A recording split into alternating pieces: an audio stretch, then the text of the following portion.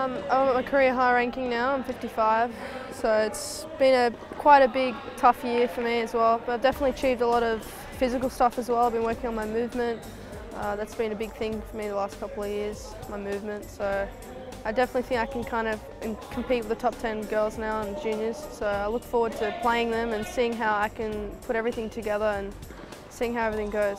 My tournaments have been going pretty well, definitely to work on uh, some stuff there. So I definitely think I could have done better at Wimbledon, um, but I did some, had some good doubles, doubles matches, made quarters there. Um, definitely the experience was great.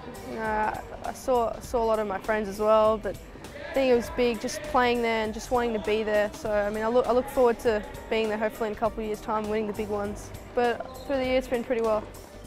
Yeah, I went to uh, French, Wimbledon, Australian Open, and coming soon to US. So I mean, I don't know, there's a couple of good girls there. So looking forward to Sachia Vickery and uh, maybe Taylor Townsend. But I love hard court, it's my favourite surface. So I look forward to doing well there.